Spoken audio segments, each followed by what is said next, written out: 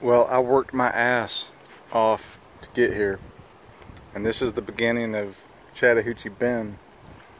And I don't know if there's if it's always like this or there's just some increased flow all of a sudden from the dam, but this shit is moving and I can't make I can't go any farther. I'm not gonna be get all the way to the bend.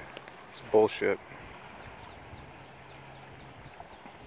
I don't know if you can tell how fast it's going, but it's hard to paddle against that.